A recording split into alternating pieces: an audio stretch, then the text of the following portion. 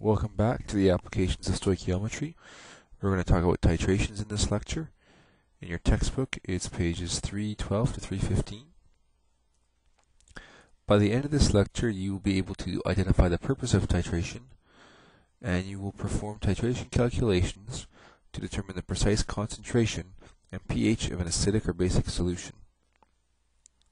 So what titration is, is it's a quantitative analysis.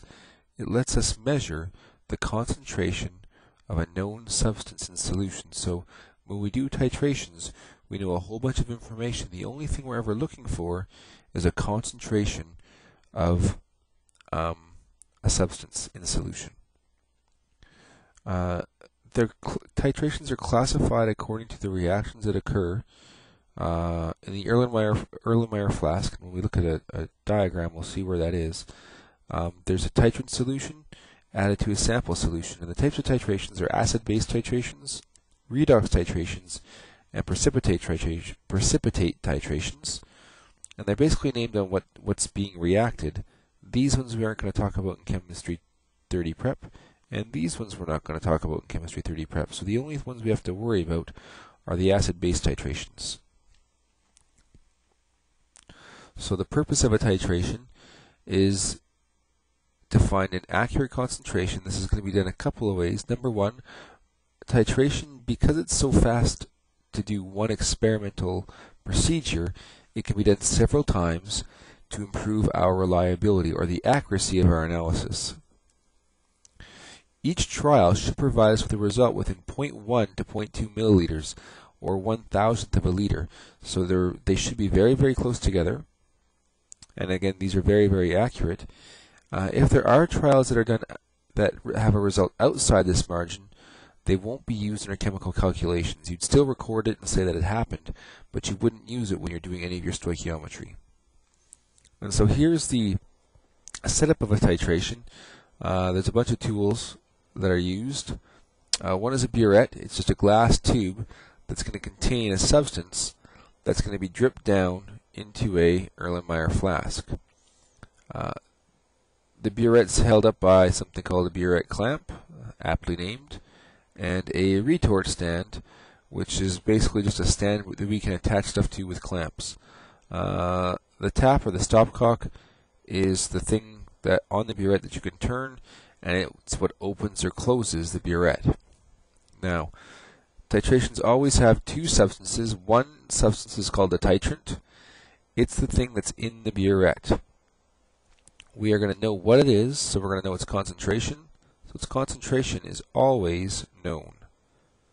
It's known because we would have made this solution in the lab before we started. Its concentration is known, and its volume is going to be measured.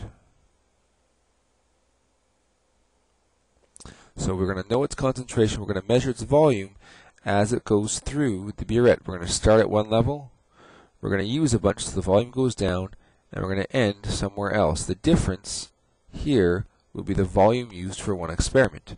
And then we could go through and we could do it again. We'd start here, end up somewhere down here, and this would be the volume used for the second experiment. And so it's always read, so it's it's going to be known and it's easy to find. In the Erlenmeyer flask,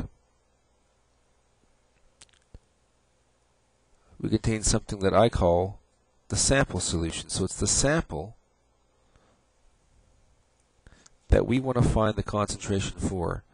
The concentration of this thing is always unknown. It's always what we're looking for. Its volume is always going to be known, and it's always going to be given in the question. When we put something in this Erlenmeyer flask, we're going to measure the volume first. We're going to measure this amount of fluid first. So it's a measured volume. And so it's something we're always going to know. The only thing we're ever calculating in a titration is concentration. We're always looking for the concentration of our sample. So we're only going to be looking at acid-base titrations, which means there's only two possibilities. One possibility is there's going to be a base solution as our sample, and it's going to be titrated with a strong acid. The other possibility is that we have an acid solution, and we're going to titrate it with a strong base. And those are the only two types of titrations we're going to look at. And so it's really just pretty straightforward stoichiometry with a bit of setup. So here we have a 10 milliliter sodium hydroxide solution is titrated to completion with dilute hydrochloric acid according to the evidence and we should say above. That's what happens when you rearrange your slides. Calculate the pH the sodium hydroxide solution. And so I'm just going to just going to identify where things are. In our table here, we have 10 milliliter samples of sodium hydroxide. That means, and those are samples, so that means the stuff in here is sodium hydroxide, NaOH. That's what's in the flask. We don't know its concentration. In the burette is going to be our hydrochloric acid. It's our titrant and titrants titrate things. So the sodium hydroxide is titrated because something's being added to it. And so here we have a table and we have our trials. So there were four trials done. The final volume is what was read off of our burette. So if you look at the first trial, the initial volume was 0.6, and we should have some units here, milliliters, milliliters, and so the volume used is going to be milliliters. And so 0.6 would be somewhere up here. So the volume of solution of HCl started up here. So 0.6 milliliters was read off of our burette.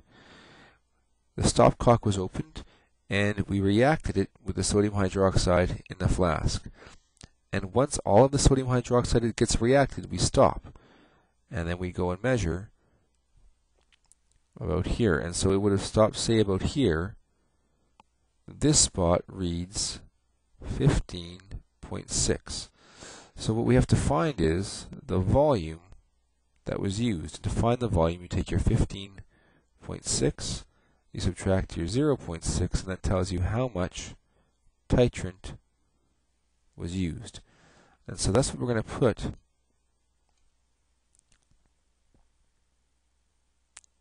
in our table. So the volume used was 15 milliliters. And again, we're just going to go through and complete all of the subtractions. So the next one would be the 29.3 minus 15.6 at 13.7.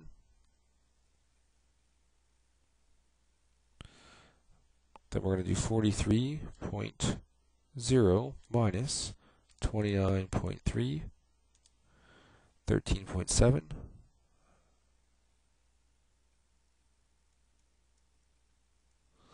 The final one would be 14.8 minus 1.2, and we get 13.6. So those are the four trials, and then we take a look at them, and we can only use values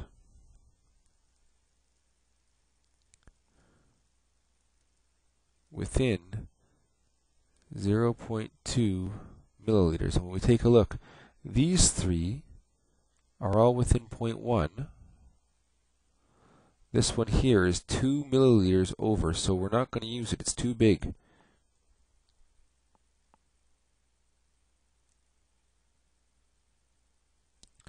Too much was used. And usually what happens on the first trial is we're not quite sure what the concentration of our solution is, and we overshoot the mark a little bit. And so usually the first trial is a bust. It just kind of lets us estimate where we should be stopping.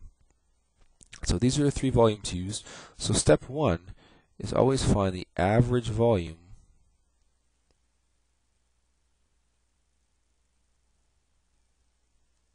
of titrant. And in this case, our titrant is the HCl. And so the average is going to be 13.7 plus 13.7 plus 13.6. And since there's three trials, we divide by 3. And our answer is going to be 13.67 milliliters. And I always just use an extra sig dig uh, just so that we can be as accurate as possible. Our final answer is still only have three sig digs, but at least the volume we're using can have four. And now that we have that, we need a chemical reaction to figure out what happened. So On the next slide, we're going to write down our chemical reaction. I might have to jump back and forth a little bit. So our chemical reaction was hydrochloric acid plus sodium hydroxide. And so it's a neutralization reaction or an acid-base reaction, double replacement, however you want to say it. We're going to end up with sodium chloride, which is table salt, and it's soluble in water, so it's going to be aqueous, plus H2O. And the nice thing about this reaction is it's balanced. And now we're going to go through and fill in the things we know. Uh, the first thing I remember is that we figured out the volume of acid was 13.67 milliliters. And I'm just going to go back to my previous slide and get some more information. The volume of our sodium hydroxide was 10 mils, so we'll fill that in. A volume of 10.0 milliliters. And we have a concentration of hydrochloric acid. So we know the concentration of hydrochloric acid is 0.150 moles per liter. And the question is asking for pH. And we know that pH is related to the concentration of our base. And now we can go through and do some math. So we need to find the number of moles of hydrochloric acid. So we're going to find N, HCl. And I should, before I get too carried away, we've got to use our concentration formula. And we know we're going to have to use our pH formula. We know that pH is equal to the negative log, the concentration of hydronium ions, and we should also note that we're probably going to have to use POH because we're dealing with a base. So we'll write down at least the POH formula and see what we need to use from there. So our concentration of hydrochloric acid is going to be, or our number of moles, I apologize, concentration times volume. The concentration is 0.150 moles per liter times 0 0.0 1367 liters.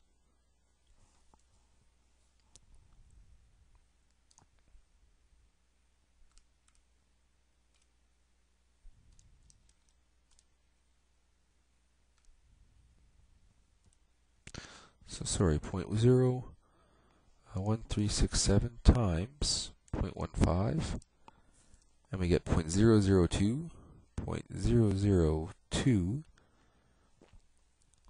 0.05 moles. We can now find the number of moles of sodium hydroxide, which is our 0.00205 moles times 1 over 1. And we're going to get 0.00205 moles of sodium hydroxide. Now we have the number of moles, we're going to find the concentration. Concentration of NaOH is equal to N over V which is going to be 0.00205 divided by 0.01 liters. So our concentration is 0.205 moles per liter. So there's our concentration. We want to find its pH. And we know that sodium hydroxide, when you put it in water, it dissociates to form sodium ions and hydroxide ions. And so our pH is based on this thing. It's related to the concentration of hydroxide ions. What we can find is actually POH, and then we can convert it to pH. So we're going to go back up over here. And we're going to say, well, we can find the POH, which is the negative log of the concentration of hydroxide ions. And luckily, the concentration of hydroxide ions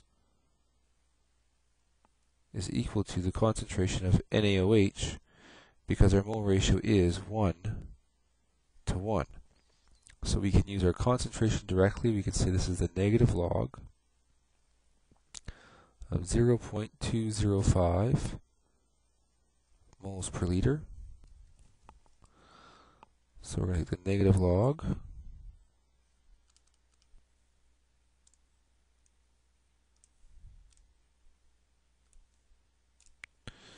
And so our POH is equal to 0 0.688. And now we can say, well, pH is equal to 14 minus POH. So we 14 minus 0 0.688.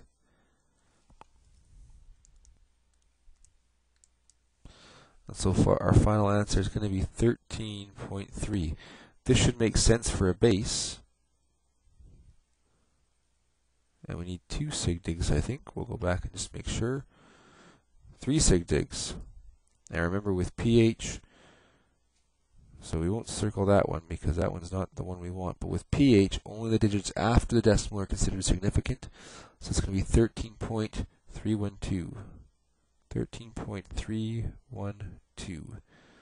That's the pH of our basic solution, which should make sense. I mean, we are dealing with a base, a strong base, so it should have a very high pH. And that right there is probably the hardest our, our titration questions are going to get. Most of them are just going to take us down to the concentration level. Most of them will be able to stop right there.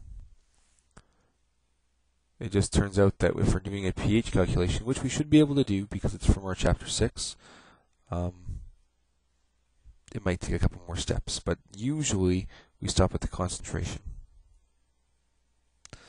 So another example, here we have titration of nitric acid is titrated with potassium hydroxide. So here we have our nitric acid, NO3. HNO3 is in our flask. In our burette is potassium hydroxide, KOH. We want to find the concentration of the sample, which is what we always want to find. So the first step is we want to find our, our volume of titrant used.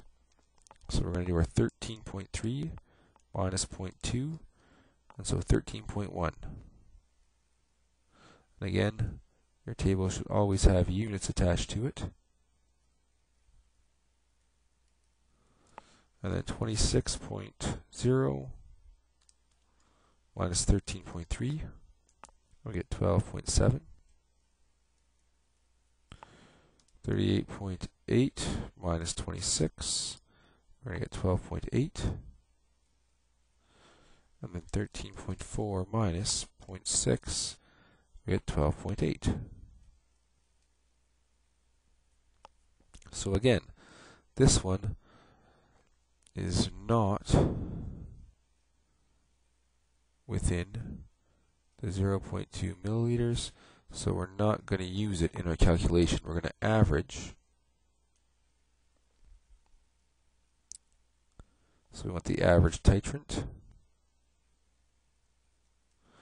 is going to be 12.7 plus 12.8 plus 12.8 all divided by 3.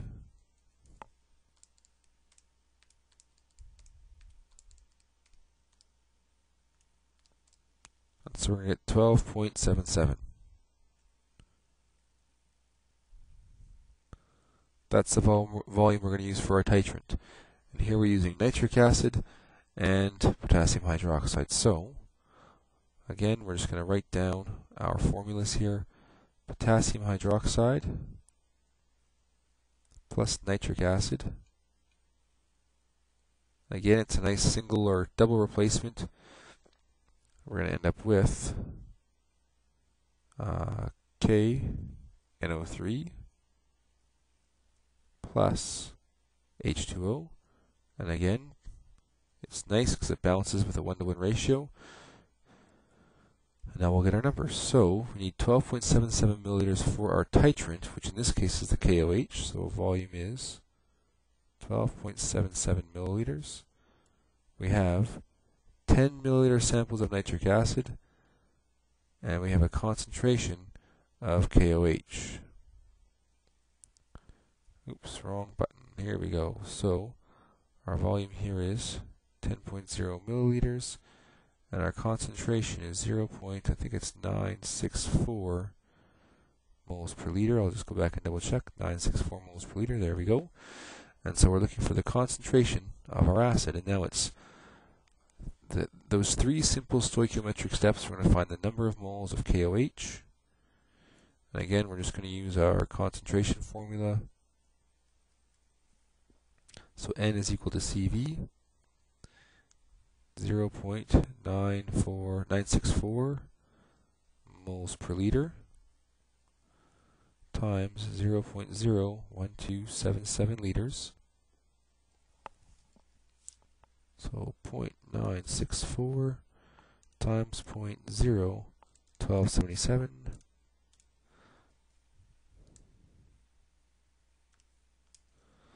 and we get 0 0.0123 0123 moles then we can find the number of moles of HNO3, which is going to be our 0.0123 moles times 1 over 1. So 0.0123 moles of HNO3, and now we can find its concentration. N over V.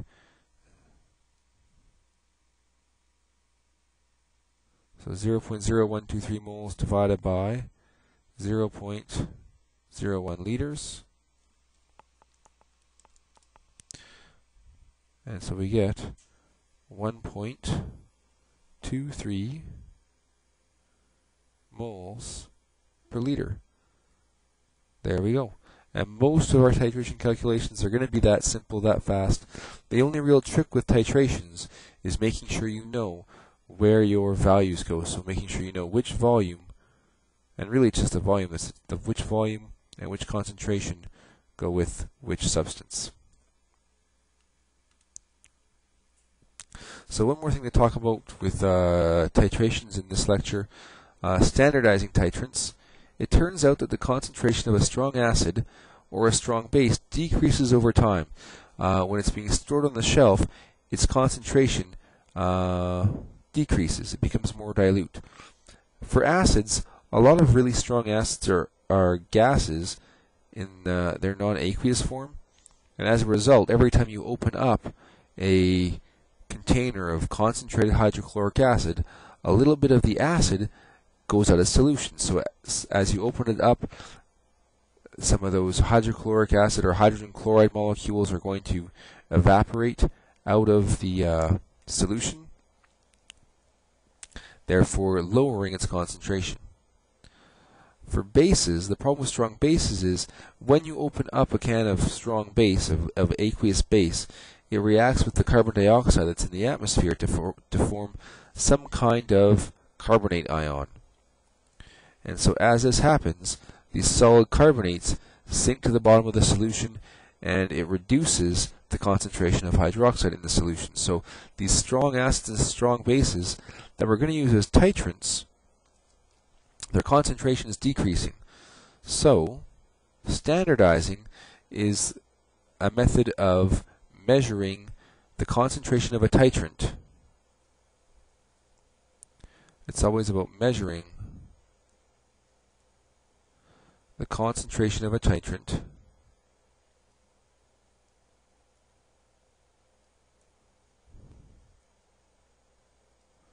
and it's always right before you do a titration. So you have a stock solution on the, on the shelf with a known concentration. The problem is its concentration is slightly decreasing every time it gets opened and closed.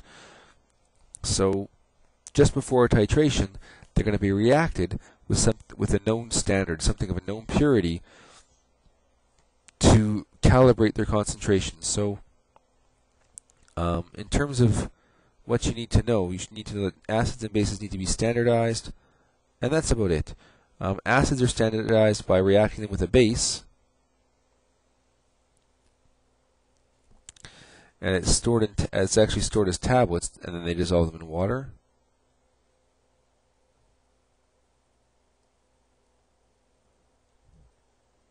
And the nice thing about so our uh, sodium carbonate is it's easy to find and you can get it in a relatively pure state. So you can get it in a state that's really, really pure, dissolve it in water, react it with your titrant, and get your titrant's concentration. Then you can do your titration. Bases are, are um, standardized using something called potassium hydrogen uh, phthalate solution. And uh, yeah, you don't have to memorize it, but the idea of standardizing you should know. And that's it. So we have one more lecture to go where we're going to talk about indicators and uh, titration curves. So after the practice problems on page 315, uh, you can watch the last lecture.